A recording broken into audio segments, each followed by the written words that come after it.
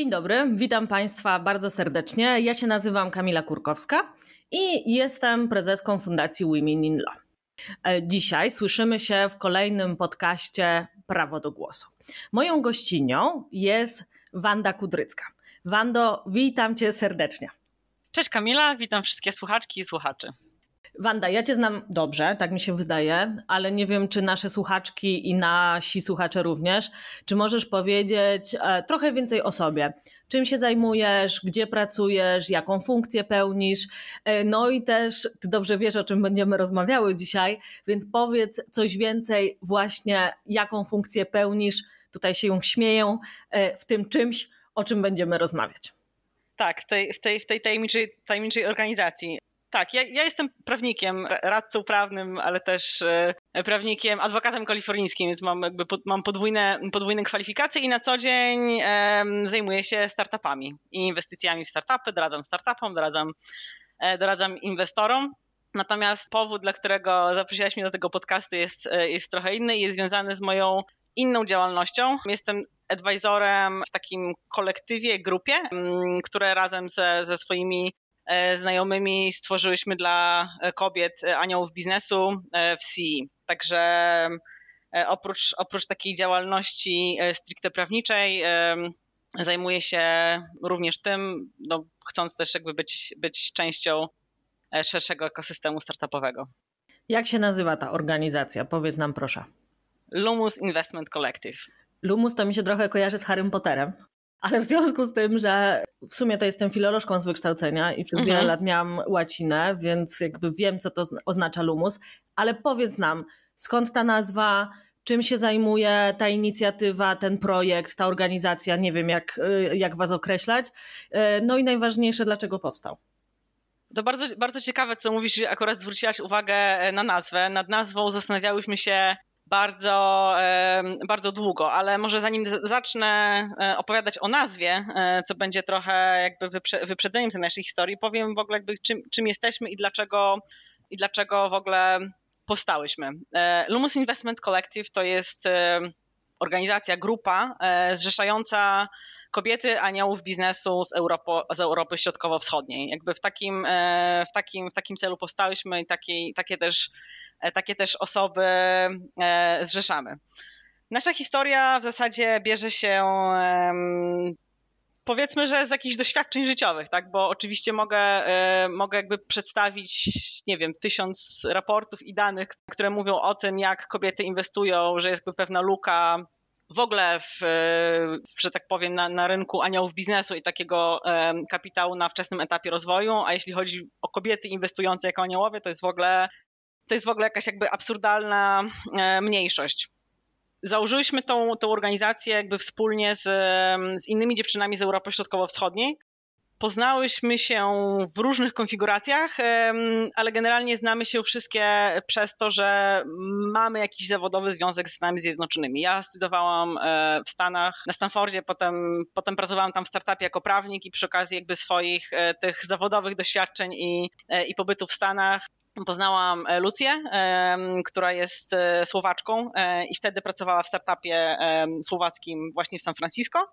A tak naprawdę nasz pomysł Lumusa powstał, jak już w sumie wróciłyśmy do Europy po swoich, po swoich amerykańskich doświadczeniach. I nie jesteśmy tam tylko we dwie, e, jest tam, jest tam e, kilka dziewczyn e, i wszystkie w zasadzie jakby mamy, mamy za sobą podobne doświadczenia, tak jakby albo pracy w startupie, albo jakby pracy po stronie funduszy venture capital i, i jakby inwestowania w startupy i też właśnie takiej powiedzmy ekspozycji, jak to się mówi, na, na rynek amerykański i jakby zobaczenia, jak po pierwsze ten rynek działa, e, jakie, jak on wygląda, jak, te, jak się tam inwestuje, ale także z czym się mierzą jakby ludzie, którzy chcą, czy, czy founderzy przede wszystkim, tak, którzy chcą po prostu na tym rynku coś działać, odnieść, odnieść jakiś sukces sukces komercyjny, ale także jakby sukces polegający na tym, żeby zebrać po prostu rundę, rundę finansowania, bo znamy to zwyczajnie ze swoich własnych doświadczeń.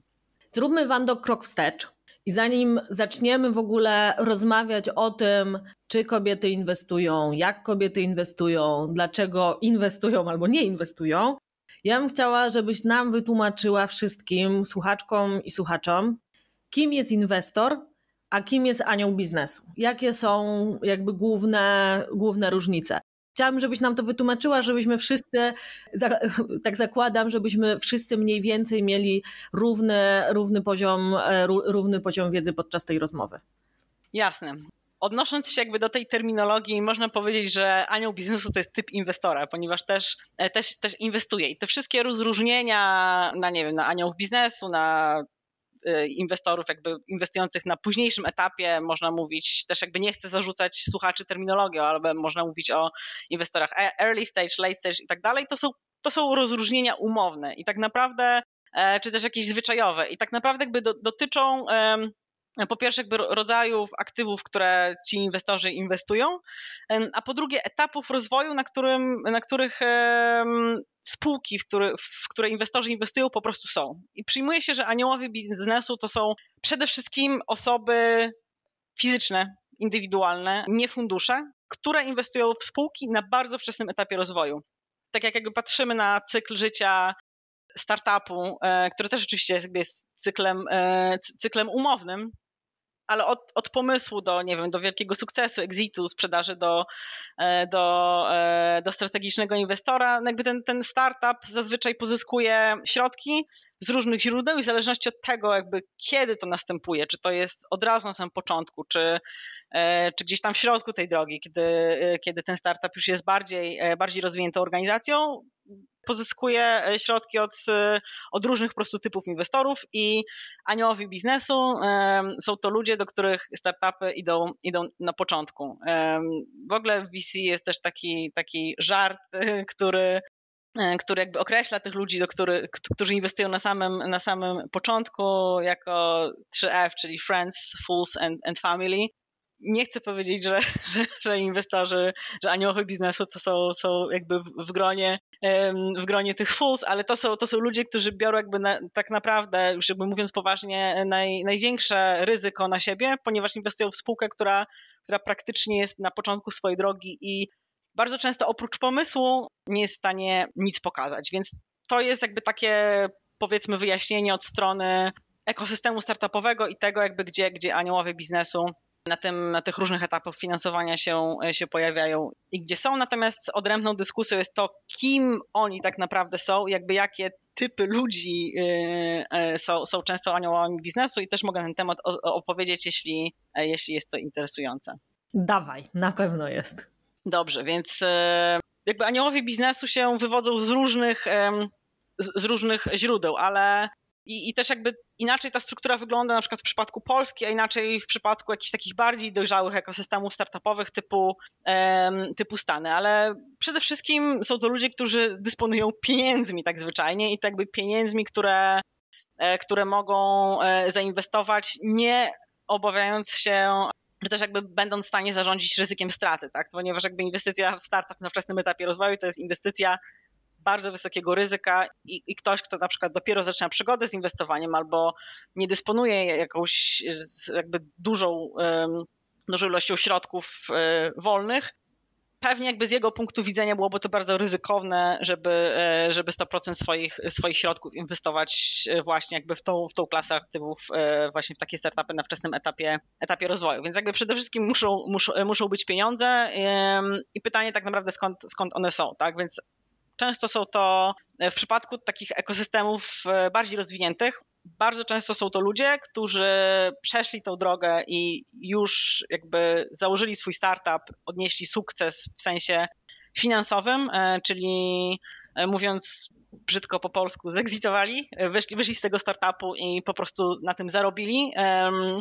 I często ci ludzie po prostu inwestują swoje pieniądze jakby dalej w ekosystem, w jakichś kolejnych founderów z różnych względów. No z tych względów, żeby oczywiście na tym zarobić, ale też, bo jest to po prostu często, często, e, często dla nich e, jakaś tam frajda i, i po prostu też możliwość e, no, kontaktu z ludźmi, którzy naprawdę są no, gdzieś tam na, na, na, na, przedzie, na przedzie tych innowacji. Kolejną grupą są, są ludzie, którzy jakby posiadają te, te pieniądze z, z, innych źródeł, typu rodzina, tak? Family offices, e, rodziny, które, które jakby dysponują znacznym majątkiem, mają jakby swoje że tak powiem, ramiona inwestycyjne i takie family offices też inwestują w startupy, e, czasami mają jakby swoje fundusze VC, tak, inwestują później, ale, ale często inwestują właśnie na takim wczesnym etapie rozwoju, albo po prostu ludzie, którzy zarobili te pieniądze będąc na, w cudzysłowie, w cudzysłowie na, na, na etacie, tak? Czyli są, e, odnieśli po prostu sukces finansowy, nie zakładając jakby swojej firmy, ale, ale po prostu pracując, e, pracując gdzie indziej i oni jakby po pierwsze dysponują środkami, które mogą na takie inwestycje przeznaczyć, ale też e, i to jakby zarówno jakby ta, że tak powiem, ta, ta, ta grupa aniołów biznesu, jak i byli, byli founderzy, e, oni przede wszystkim jakby dysponują doświadczeniem, tak? I mogą oprócz pieniędzy dać jakby tej spółce rzeczywistą taką wartość i podzielić się swoimi doświadczeniami e, odnośnie tego, jak taki biznes rozwijać, skalować, co też nie przekłada się na ich również sukces finansowy, tak? No bo, bo wtedy jakby szansa, że te zainwestowane środki się zwrócą tak zwyczajnie wzrasta. Przygotowując się do, do tej rozmowy, znalazłam takie dane, które y, powiem szczerze, że mnie trochę zszokowały.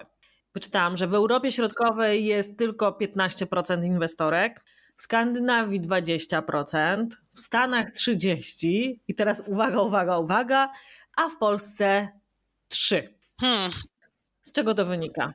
Po pierwsze, te dane e, pewnie mówisz o jakichś takich jakby poję, pojęciu inwestorów szeroko. Nie wiem, czy koniecznie, e, czy, czy, to jakby ogranicza się do aniołów biznesu, bo myślę, że gdyby szeroko, spojrzeć szeroko. na aniołów biznesu, to byłyby to po prostu mniejsze, mniejsze udziały procentowe, jakby też te, te liczby nie szukają mnie, mnie zupełnie. Z, z czego to wynika? Ja z racji, z racji tego, że identyfikując ten problem, tak jakby zakładając, zakładając Lumus, bo on też jakby nie powstał nie powstał próżni i nie, nie powstał jakby w ten sposób, że stwierdziliśmy, dobra, to założymy sobie taką organizację, która zrzesza kobiety w biznesu, tak, tylko jakby zaczęliśmy od, od identyfikacji tego problemu i jakby z, z zobaczenia, jaki jest, jaki jest w ogóle stan, stan tego rynku i co, co w sumie byłoby potrzebne albo e, naszym zdaniem przydatne, żeby, żeby to zmienić. Jakby doszliśmy do wniosku, że będzie to organizacja dla, e, dla inwestorek jakby analizując te dane, doszliśmy do jakby takich, takich informacji.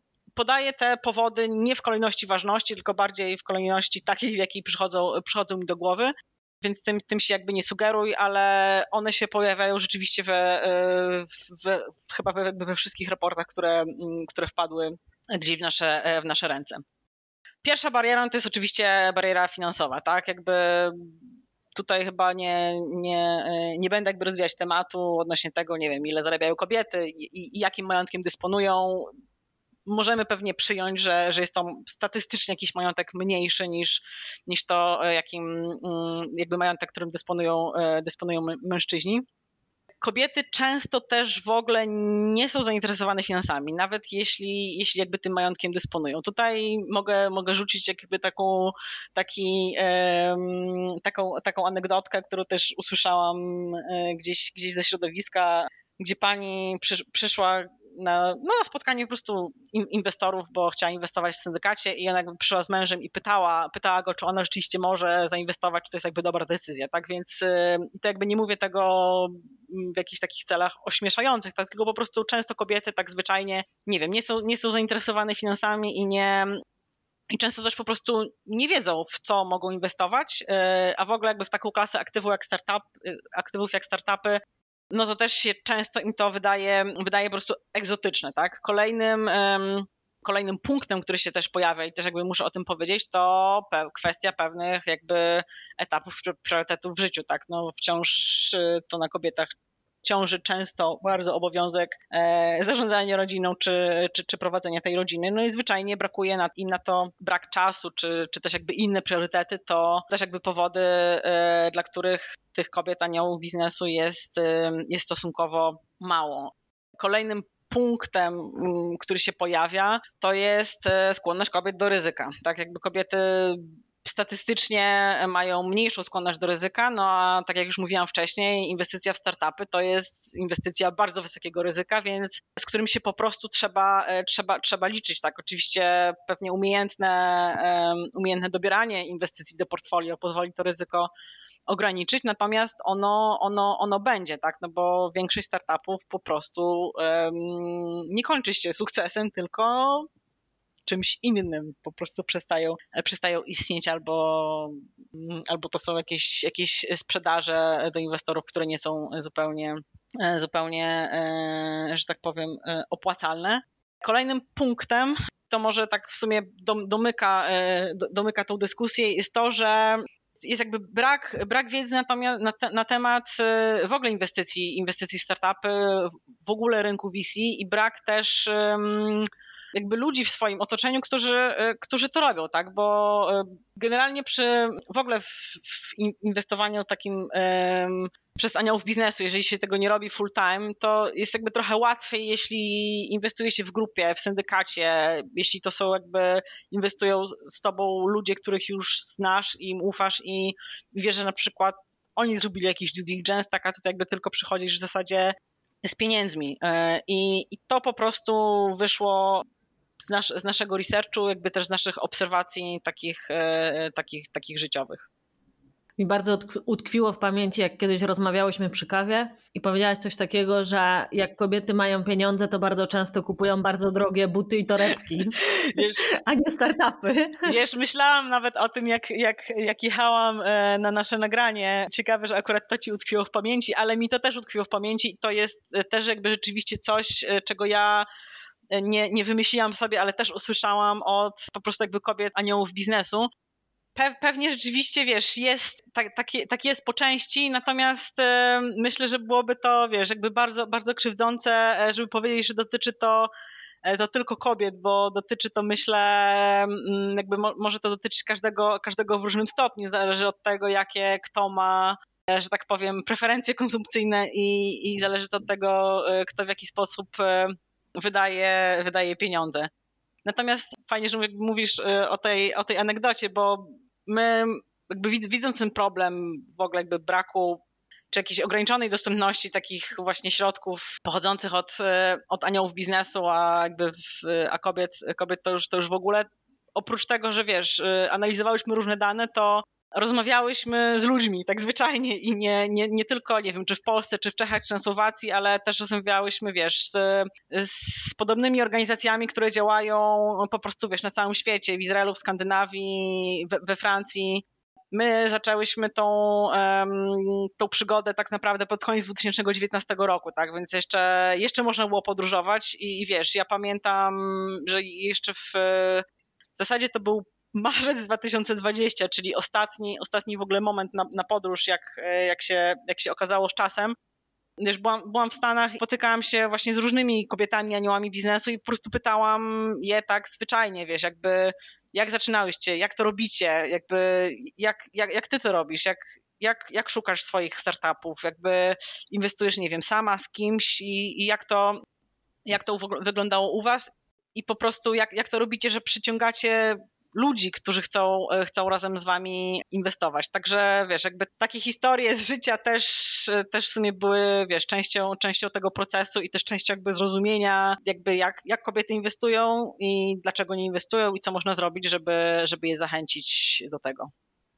Wspomniałaś e, w którymś miejscu naszej rozmowy o tym, jaki dostęp do kapitału mają kobiety, w sensie ile te kobiety mają pieniędzy w kieszeni.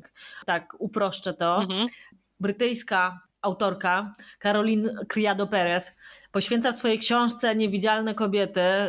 Ja w ogóle jestem oczarowana tą książką i uważam, że to powinna być lektura obowiązkowa. Ona poświęca y, cały rozdział w tej książce inwestowaniu w kobiety, ale i przez kobiety i w ogóle jakby tematowi y, pieniędzy i majątku kobiet. I w tej książce ona przytacza, znowu ta książka jest wprost naszpikowana danymi, i, I, główną, taką, główną taką tezą tej książki jest to, że y, w naszym świecie, chciałam powiedzieć we współczesnym, ale nie we współczesnym, jakby w całej historii ludzkości, człowiek równa się mężczyzna. To znaczy, to mężczyzna jest takim wzorcowym człowiekiem, a kobieta jest odstępstwem od normy. No bo normą jest, e, jest mężczyzna i to jest w, no, w bardzo, bardzo wielu dziedzinach. Ja wszystkim bardzo serdecznie polecam tą książkę. Ale rozmawiając o kapitale i rozmawiając o inwestowaniu, w tej książce w kilku miejscach właśnie jest napisane, że na przykład kobiety dysponują dużo mniejszym majątkiem, e, z uwagi też na uwarunkowania historyczne, bo, bo po pierwsze, w wielu kulturach kobiety nie dziedziczyły, a jeśli dziedziczyły, to tylko jakieś jakby mniejsze części majątku. Bardzo często było tak, że kiedy kobiety na przykład wychodziły za mąż, to mąż przejmował, e, przejmował kontrolę nad, nad, nad majątkiem żony, ale mnie utkwiło jeszcze coś innego, a mianowicie jak już jest jakby Criado Perez już tak tak w taki jakby szczegółowy sposób opisuje sam ten temat inwestowania przez kobiety, to przytacza właśnie takie, e, takie historie, że są kobiety, które zaczynają się interesować tym tematem, które wchodzą w to środowisko i nagle okazuje się, że to środowisko jest tak zdominowane przez mężczyzn, że ci mężczyźni wręcz jakby zniechęcają je do inwestowania. Czy to prawda? Jak ty to postrzegasz? Czy kiedykolwiek byłaś świadkinią właśnie takiej, takiej sytuacji, albo czy miałaś okazję obserwować tego typu, tego typu działania?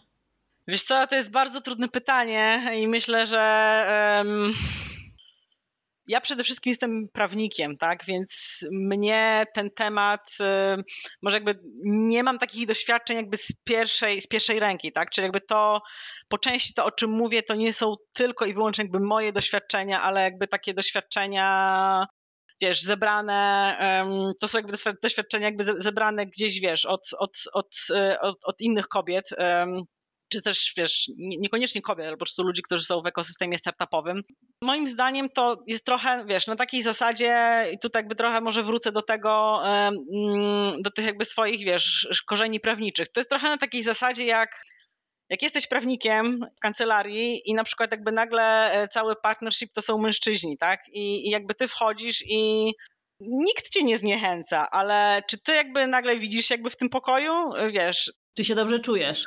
Czy się dobrze czujesz, tak? Czy, czy jakby ci ludzie mówią o tym, o czym, o czym ty mówisz? Czy oni używają tego samego języka? Czy w ogóle mm, macie, macie jakąś tam nić porozumienia i czy, czy oni się z tobą dobrze czują? To myślę, że to też na takiej zasadzie mo, może trochę działać, tak? Jakby nie słyszałam takiej historii, że wiesz, ktoś, ktoś kogoś zniechęcał, ale też y, umówmy się, wiesz, no żyjemy w czasach y, też politycznej poprawności, więc y, nie sądzę, że wiesz, że, że usłyszysz, że usłyszysz to wprost, ale wydaje mi się, że to są jakby właśnie kwestie takie bardzo miękkie, takie bardzo, wiesz, trudne do, do uchwycenia, właśnie tego, wiesz, no kim jesteś, z kim się identyfikujesz, jakby, jakby nagle czy pasujesz do tego pokoju, w którym właśnie się znalazłaś.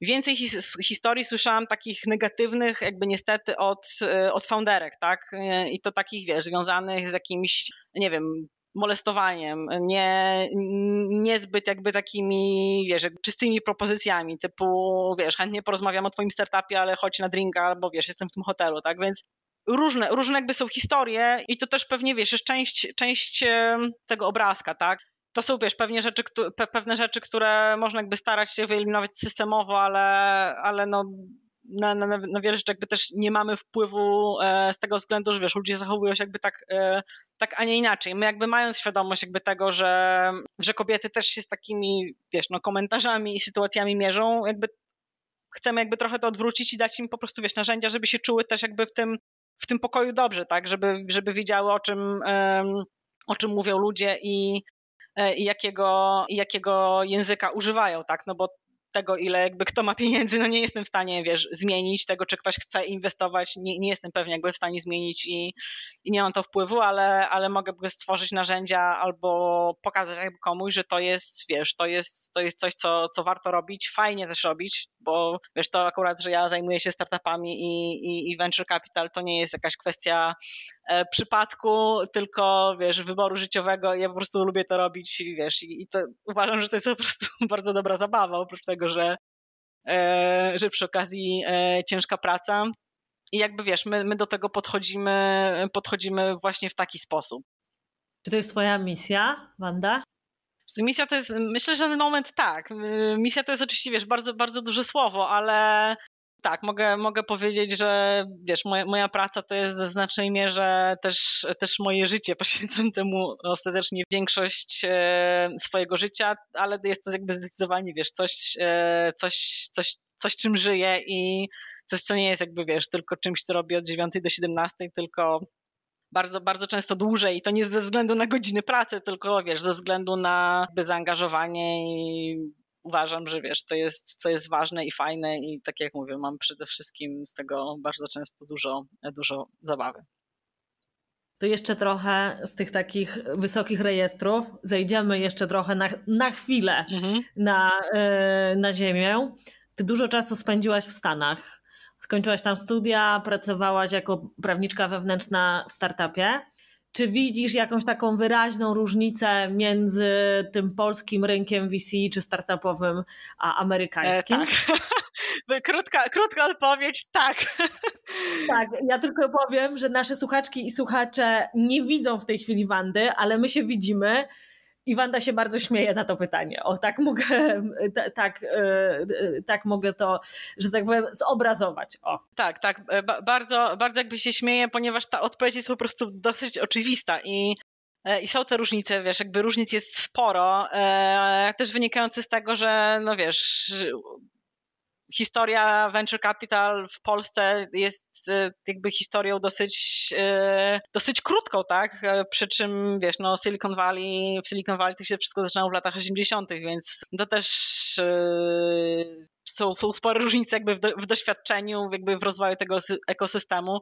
Także tu po prostu nie ma co porównywać. Natomiast to, to, że, to, że się, się tak uśmiecham, wynika z tego, że Wiesz, ja, e, ja przed wyjazdem do Stanów nie zajmowałam się venture capital, tak jakby to, to e, zajmowałam, zajmowałam się jakby zupełnie czym, czymś innym i po prostu tam się tak naprawdę, wiesz, nauczyłam wielu rzeczy, wielu rzeczy, które teraz robię, jakby, wiesz, pewnych, e, pewnych standardów, pewnej jakiejś tam kultury, pewnego jakby podejścia do ryzyka. I śmieję się również dlatego, że jak wróciłam do Polski, wiesz, w 2018 roku, taka właśnie jakby, wiesz, taką głową pełną pomysłów, tego, że wiesz, jakby zawsze można coś zrobić i generalnie da się i można i trzeba i trzeba pukać, otwierać drzwi i wiesz, i VC to, to w zasadzie powinny mieć taką tolerancję na ryzyko i founderzy powinni mieć wolną rękę, żeby, żeby, e, żeby jednak wiesz, rozwijać, e, rozwijać swoje pomysły biznesowe, to moje zderzenie z rzeczywistością było jakby dosyć mocne i, i, i brutalne. No bo tutaj po prostu to wszystko wyglądało zupełnie inaczej, tak? I, i oczywiście, no wiesz, teraz jest, e, jest rok 2021 i przez te trzy lata dużo się, zmieniło, przynajmniej z mojej perspektywy. Natomiast wiesz, myślę, że główna różnica mm, jednak wynika z podejścia do ryzyka i, i, i zaufania, jakie, jakie po prostu ludzie, ludzie mają do siebie. Wiesz, jak, jak ja też głównie w swojej, swojej pracy pracuję jednak na takich e, transakcjach, które mają, wiesz, element amerykański, tak, no z racji swojego wykształcenia i, i po prostu sprawia mi to przyjemność e, pewnie e, trochę większą niż takie transakcje typowo polskie, ale wiesz, ja na przykład widzę, jakie mają podejście amerykańscy inwestorzy, inwestując w spółki, jak oni pro, prowadzą due diligence, no to wiesz, no to, to, to często jakby ten proces w porównaniu do jakiegoś takiego, wiesz, typowego, typowego polskiego VC, no to to jest e, to jest proces jakby daleko bardziej, wiesz, odformalizowany, czy też e, opierający się na jakimś tam zaufaniu do tej, do tej spółki. Tam jakby nie ma, wiesz, takiej potrzeby kontroli. Są, wiesz, są też pewne standardy, które, które e, zostały też tam wypracowane, wiesz, przez, przez środowisko, które mniej więcej pokazują, tak, jakby co jest, co, co ma sens, a co nie ma sensu, tak, co jest jakby tym tym adekwatnym poziomem kontroli, a co już jest, wiesz, y, po prostu jakimś tam wyjściem poza, poza rozsądne granice, więc jak na przykład, wiesz, w swojej pracy y, tutaj, i to, to mówię jakby to też nie dotyczy tylko Polski, bo też pracuję na, na różnych dealach, tak, na przykład takie, które w ogóle nie mają polskiego elementu, tylko na przykład jakichś tam typowo hiszpańskich, czy portugalskich, czy wiesz, jakichś innych krajach i po prostu też widzę, jak ci inwestorzy, wiesz, patrzą i to są, mm, wydaje mi się, że to jest taka, wiesz, cecha takich y, mniej dojrzałych rynków, tak? No, mały stopień zaufania, duża potrzeba kontroli. Jak widzę na przykład, wiesz, uprawnienia inwestora na trzy strony e, w umowie inwestycyjnej, no to mi się jakby wiele rzeczy otwiera w różnych miejscach i tak, wiesz, zwyczajnie uważam, że, że to jakby nie jest ok, tak? Ale też, wiesz, myślę, że jest to pewien etap, który, e, który ten rynek musi przejść i jest jakby coraz, coraz lepiej, oczywiście lepiej to jest moja ocena i jakaś tam, wiesz, indywidualna perspektywa, żeby tak tego, wiesz, nie, nie, e, nie kwantyfikować, no to może powiem, że po prostu, wiesz, ci inwestorzy też bardziej jednak patrzą, wiesz, w, tam, w tamtą stronę i trochę rynek się nauczył, tak jakby zdobywa doświadczenie i ludzie może trochę, wiesz, bardziej, e, bardziej, bardziej wiedzą, co, co, co robią. Wydaje mi się, że to się zmieni w momencie, kiedy jakby w Polsce naprawdę będziemy mieć, nie wiem, jakieś dwa, trzy takie porządne exity, tak, kiedy jakby już founderzy, ci byli founderzy zaczną, zaczną inwestować, zaczną, wiesz, jakby zakładać swoje fundusze, jeżeli oczywiście będą chcieli, będą chcieli to robić. Myślę, że to będzie taka zmiana jakościowa dla tego rynku. A czy to nie jest tak, że po prostu w Stanach jest więcej kapitału niż tutaj w Polsce, czy ogólnie w Europie, czy to nie ma znaczenia? Pewnie znaczenie jakieś ma, ale w ogóle, w ogóle teraz jest bardzo dużo kapitału. To wiesz, oczywiście można sobie to liczyć, tak, że tu masz tyle, tam, tam masz więcej, oczywiście tam jest więcej, no bo to jest większy kraj i bogatszy, ale generalnie jest teraz bardzo dużo pieniędzy na rynku, tak, więc ja um, może ma jakieś znaczenie, ale tego też nie sprowadzałabym tylko, wiesz, to jest kwestia proporcji, tak. Wydaje mi się, że problemy czy, czy różnice leżą gdzie indziej I, i tak jak mówię, to są to przede wszystkim takie różnice kulturowe czy mentalne. E, w chwili obecnej jest bardzo dużo kapitału na rynku. Może wiesz, nie, nie, nie, wszyscy nagle inwestują w startupy, bo wszyscy nagle inwestują w nieruchomości, e, ale, ale to widać, tak jakby te, wiesz, y, ilość inwestycji, wielkość jakby tego rynku rośnie jakby w tempie, które, których jakby ten rynek nie, no jakby nigdy nie widział. Tak i mówię to i o Polsce, o Stanach, Europie ogólnie. Ma to oczywiście, wiesz, związek z sytuacją e, gospodarczą na świecie, kapitału jest, jest, jest naprawdę dużo, ale to też jest ciekawe, tak, no bo powoduje, że naprawdę dobre startupy, że też ciekawe startupy, wiesz, mają po 10 term sheetów na, na stole i to też wymusza, czy wiesz, będzie wymuszało pewną zmianę jakościową po stronie inwestorów, no bo wiesz, nagle inwestor, który prowadzi proces inwestycyjny pół roku, to jest jakby bardzo nieatrakcyjny dla takiej spółki, e, albo taki, który właśnie przychodzi, wiesz, z tą, z tą e, przysłowiową umową inwestycyjną i z uprawnieniami inwestora, wiesz, na, na trzy strony, tak, więc, e, więc to też pewną, pewną zmianę jakościową myślę, że wymusza. Wróćmy na koniec w sumie do głównego tematu naszej rozmowy, Powiedz, dlaczego to jest tak istotne, żeby kobiety inwestowały? To jest takie proste pytanie, ale trudne chyba. Wiesz co, z mojej perspektywy, z naszej perspektywy Lumusa, tak, to przede wszystkim ze względu na te cele inwestycyjne, tak, czyli jakby spółki, które ostatecznie ten kapitał dostają, bo wydaje mi się, że wiesz, różnorodność jakby po stronie tej, tej podażowej, kapitałowej, to jest jakby to, o czym ty mówiłaś, tak, że jakby kobiety może jakby historycznie miały mniejszy dostęp do kapitału i to możemy jakby mówić, wiesz, i o kobietach, które inwestują, ale też kobiety, w które się po prostu inwestuje, tak, bo, bo wiele kobiet po prostu nie ma, wiesz, do tego kapitału dostępu.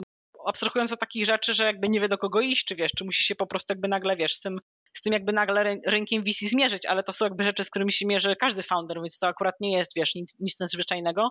Ale też e, kwestia perspektywy to jakby jak mówimy o jakiejkolwiek, wiesz, różnorodności, tak, no to to, to nieważne, czy wiesz, czy jest to różnorodność postrzegana tak, y, wiesz, bardzo z perspektywy, nie wiem, kobieta, kobieta, mężczyzna, ale to mogą być jakby różnorodności na, na różnym, wiesz, tle jakby społecznym, ekonomicznym, językowym, narodowościowym, orientacji seksualnej, jakby, wiesz, cokolwiek jakby w naszym współczesnym świecie, e, świecie teraz, e, teraz istnieje. I to jest jakby kwestia tego, że wiesz, jakby ludzie, którzy mają inną perspektywę, po prostu widzą też inne rzeczy na rynku, widzą inne biznesowe możliwości. I to jest trochę taki system naczyń, naczyń połączonym, ta, połączonych, tak? Jeżeli kobiety będą inwestować, no to też jakby będą inwestować w przedsięwzięcia, które znowu, tu mówię bardzo stereotypowo, przez męski świat i w cudzysłowie mogą być, e, mogą być niedostrzegane. I też, wiesz, z drugiej strony osoby, które nigdy nie miałyby jakby szansy na to, żeby ich biznes czy pomysł był, był zauważony, nagle po prostu, wiesz, tą, tą, szansę, tą szansę dostają. I to nie w wymiarze takim, wiesz, jakimś tam non-profit, czy, czy, czy fundacji, czy, wiesz, działalności charytatywnej, bo my też e, zakładając e, Lumus, tak jak, wiesz, ci mówiłam, to było poprzedzone naprawdę takim kilkumiesięcznym, jakby solidnym, wiesz, researchem i tego w ogóle w jakiej formie działać, i my też doszliśmy do wniosku, że wiesz, jakaś działalność charytatywna, fundacje to, y, to jakby nie będzie, y, nie będzie to narzędzie, bo my też jakby chcemy pokazać, że po pierwsze jakby różnorodność po, po stronie tej, tej inwestorskiej, yy, która z drugiej strony generuje różnorodność po stronie tych celów inwestycyjnych i spółek, w których, które się inwestuje, to jest coś, co się opłaca i coś, co wiesz, coś, coś co ma zwrot, zwroty i coś, co um, powoduje, że wiesz, że inwestorzy mogą, e, mogą zainwestować w coś, co rzeczywiste zwroty, zwroty przynosi, a w innym przypadku być może byłoby niezauważone. To teraz chciałam Ci zadać, Wanda, takie pytanie bardzo praktyczne, jedno z dwóch praktycznych. Powiedz, co dokładnie robicie, żeby realizować te cele, o których wspomniałaś? Tak, mamy tak naprawdę w chwili obecnej, bo jakby to też nasz, nasz projekt, wiesz, jest, jest projektem żywym, e, tak naprawdę dwa filary tej naszej działalności. Po pierwsze, inwestujemy. Więc robimy jakby tak zwany, wiesz, scouting i szukamy e, startupów, które jakby nasze anielice biznesu e, mogą zainwestować i po prostu jakby te inwestycje e, domykamy, więc to jest taki jeden, wiesz, jakby najbardziej, najbardziej praktyczny wymiar naszej działalności. To, co jest jakby, wiesz, w tym, w tym wszystkim jakby ważne, to, to też e, zbieramy, jakby dokonując naszych inwestycji, e, my jakby zbieramy pool, czyli zestaw, nie, nie wiem jak to tak ładnie, grupę, o, grupę. grupę. Zbieramy zawsze jakby grupę inwestorów, inwestorek, CE z różnych krajów, tak, więc to, to nie jest jakby nigdy, jak wiesz, tylko Polska, czy tylko Czechy, czy tylko Słowacja, czy, czy, czy Węgry, tylko staramy się, żeby to było, żeby to była, wiesz, grupa grupa zdywersyfikowana jakby z dwóch, z dwóch względów. No bo e, po pierwsze, żeby, wiesz, jakby kobiety, które inwestują w ramach inwestycji, żeby się po prostu, wiesz, poznawały i rozmawiały ze sobą i po prostu budowały tą taką społeczność. E, wiesz, wspominałam o jednej z barier inwestycyjnych takiego braku czasu, tak? Jakby jak to też rozwiązujesz, e, no w ten sposób, że masz grupę, której ufasz i, i masz jakby, wiesz, swój, swój skład i swój team i, i ludzi, których możesz się poradzić albo z którymi po prostu inwestujesz i którzy, tak mówiąc brutalnie, na niektórych inwestycjach tą robotę odwalają za ciebie. Więc to jest, e, to jest jedna rzecz, a druga rzecz to jest po prostu edukacja. Na razie muszę powiedzieć, że, że COVID i pandemia trochę pokrzyżowały nam szyki, w tym sensie, że planowałyśmy to jednak jako, wiesz, więcej jako po prostu spotkania fizyczne w różnych jakby miastach, w których, w których jesteśmy, żeby rzeczywiście kobiety mogły te, mogły te kontakty nawiązywać, mówię, mówię o kobietach inwestorach i też tworzyć własne tak naprawdę, wiesz, takie networki aniołów, aniołów biznesu. Natomiast w tym momencie skupiamy się, wiesz, na takiej edukacji online, Przygotowujemy się też do, do cyklu webinarów, gdzie będziemy tak naprawdę od podstaw, wiesz, jakby rozbierać e, to inwestowanie na czynniki pierwsze. Nie mówię nawet o, o wiesz, o samym procesie due diligence, czy wyszukiwaniu startupów, czy, czy w ogóle obliczaniach stop, stopy zwrotu, ale o takich e, naprawdę, wiesz, podstawowych pojęciach typu, co to jest startup, tak, bo dla niektórych to może być jakaś bariera i, e, i pytanie w ogóle, wiesz, jakby podstawowe, więc chcemy prowadzić i jakby pracujemy nad tym, nad nad, cyklem takich e, spotkań edukacyjnych, naprawdę takiej edukacji od podstaw, tak? E, co to jest startup, jakby jakie, wiesz, jakie proporcje, jak w ogóle inwestujesz, tak? No bo tak mówimy sobie o tym inwestowaniu, ale ostatecznie, wiesz, no musisz coś zrobić, tak? No to, no to co to jest ta inwestycja? Co, co dostajesz udziały, czy dajesz jakąś pożyczkę, czy jakieś opcje? operując w sumie na, na, na rynku, czy mając też do czynienia z inwestorkami o różnym stopniu doświadczenia. Na razie są to głównie inwestorki, które mają wiesz, już pewne, pe, pewne doświadczenia, więc im te, te rzeczy jest trochę łatwiej zrozumieć, a jeżeli chce, kto, ktoś chce y, po prostu, po prostu w to wejść, to, no to są jakby takie, wiesz, pytania podstawowe, ale w ogóle jak, jak ja to zrobię, tak, co ja podpiszę, jakby co ja, co ja mam podpisać, jakie w ogóle są warunki tej inwestycji? I też chcemy po prostu kobietom jakby dać narzędzia, żeby, żeby po prostu wiedziały, o co w tym wszystkim chodzi, mówiąc, y, mówiąc tak zwyczajnie. Także na razie są to, wiesz, dwa, dwa główne filary, przede wszystkim inwestowanie, no skoro jest, skoro jest to klub dla inwestorów biznesu, to wypadałoby jednak, żeby, żeby, żeby inwestował, a nie tylko opowiadał o tym, jak, jak fajnie się inwestuje i dlaczego to jest takie ważne. A po drugie edukacja, wiesz, dla tych, którzy, y, którzy chcą po prostu trochę tak, wiesz, no, zajrzeć i, i zobaczyć o co, o co w tym wszystkim chodzi, albo po prostu swoją wiedzę poszerzyć. Wando, i teraz ostatnie pytanie w naszej rozmowie, chociaż ja bym jeszcze długo, długo ją, e, ją ciągnęła, bo jest bardzo ciekawa. Załóżmy, że wśród naszych słuchaczek są kobiety, mhm. prawniczki, bo chyba większość naszego audytorium to jest jednak środowisko prawnicze, ale może nie tylko, które mają pieniądze, które mają wolne środki i które po rozmowie z tobą stwierdziły, hmm, to jest ciekawe, co ta Wanda mówi. To może ja bym zaczęła inwestować w startupy. Co powinna zrobić taka kobieta? Od czego zacząć? E, no i chyba też takie dosyć ważne pytanie, skoro już rozmawiamy o pieniądzach, to rozmawiajmy tak szczerze i otwarcie. Od jakiej kwoty można zacząć inwestować? Tak, odpowiadając na Twoje pierwsze pytanie, to zadzwonić do mnie na przykład i pójść ze mną na kawę.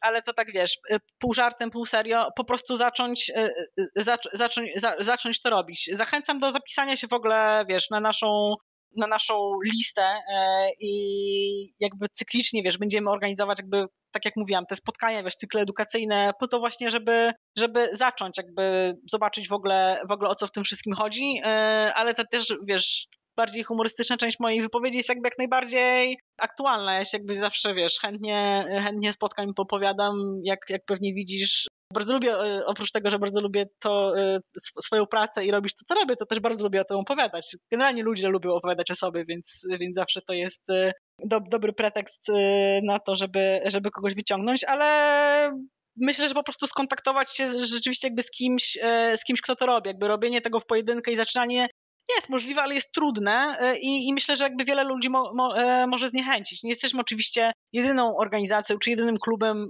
dla aniołów biznesu na jakby i w, i w Polsce, jakby w tej, w tej części świata, ale myślę, że jakby dowolny, wiesz, do, dowolny, dowolny klub to jest jakby ten, ten adres, gdzie można się zgłosić i, i, i pogadać jakby z, z, kimkolwiek, kto to prowadzi i oczywiście, wiesz, z racji, z racji tego, że jestem tutaj uprzedzona, zapraszam do nas, ale tak jak mówię, myślę, że pierwszy krok to jest po prostu najlepiej pogadanie z kimś, kto to robi, albo, albo, um, albo się na tym zna. Można oczywiście poczytać, ale z tym, z, z, tym jakby takim czytaniem i edukacją to jest trochę, wiesz, zawsze tak jak. To jest taka różnica, jak wiesz, przeczytać o wejściu na Mount Everest, a, a tam wejść. Tak jakby, no czegoś tam się dowiesz, tak, ale to nie, nie zastąpi nigdy, nigdy tego doświadczenia.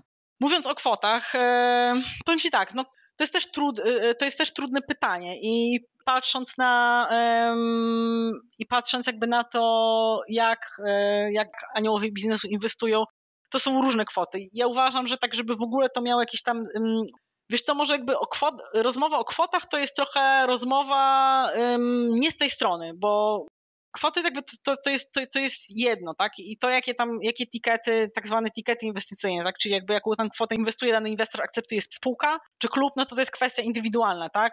Nie wiem, może być to 5 tysięcy euro, to jest jakby nisko, tak? Może być to 10, 20, to już naprawdę bardzo zależy, wiesz, od danej, od danej inwestycji. Wydaje mi się, że taki tam 10 tysięcy euro to jest taki początek, tak? Ale to mówię, mówimy o tych niższych, że tak powiem, progach, tak? I, i tiketach inwestycyjnych takich na początek. No, natomiast jakby od tych tiketów to jest, jest, jest dużo ważniejsze coś innego, tak? Ważniejszy jest, e, ważniejsza jest ilość. E, mówiłam o tym, że inwestycje aniołów biznesu, inwestycje startupy to są inwestycje o bardzo dużym poziomie ryzyka, więc to, co jest ważne, e, i przepraszam z góry za, za, za, za wtręty angielskie, ale po prostu jakby czasem jest mi tak łatwiej wyrazić pewne rzeczy, albo po prostu, nie wiem, jakby tylko, tylko po angielsku o tym mówię, ale to, co jest ważne, to jest tak zwany volume, tak jakby ilość tych inwestycji, bo biorąc pod uwagę, że, że startupy na wczesnym etapie rozwoju naprawdę w większości no, upadają, kończą się jakąś porażką, no to tych inwestycji trzeba mieć kilka naście to jest, kilkanaście to jest w ogóle jakieś takie absolutne minimum, tak? E, tacy najbardziej znani na świecie inwestorzy e,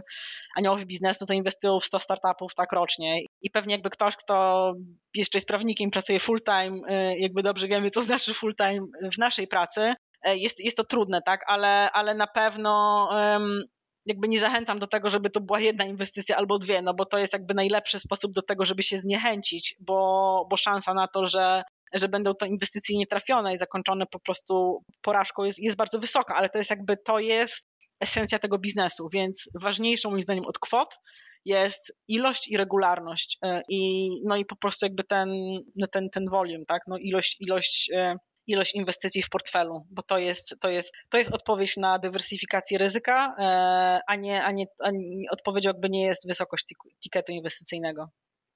To powiedz jeszcze na koniec, e, jeżeli ktoś rzeczywiście będzie chciał się z Tobą skontaktować, jak Cię znaleźć? Na LinkedInie na przykład.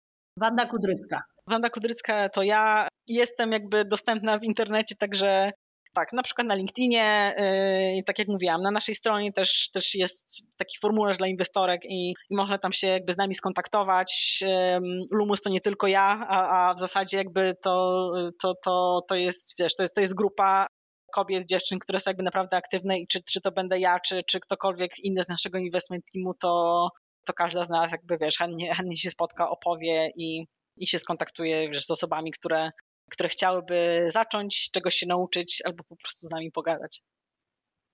Wanda, bardzo, bardzo, bardzo, bardzo, bardzo serdecznie dziękuję Ci za tę rozmowę. Ja również. Dla mnie była super ciekawa.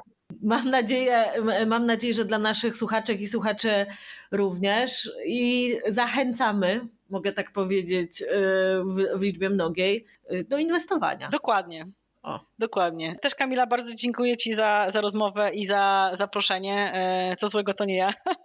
E, mam nadzieję, że, e, że rozmowa była ciekawa. Tyle i, i może jakoś na pewno była otwierająca oczy i uszy, no bo to w końcu podcast. Cieszę się. Może, może, może jakoś przyczyni się, wiesz, do popularyzowania instytucji kobiety, anioła biznesu, czy też anielicy biznesu w naszym kraju, a przynajmniej w środowisku prawniczym. Dziękuję Ci bardzo. Dziękuję Ci również, Kamila. Trzymaj się.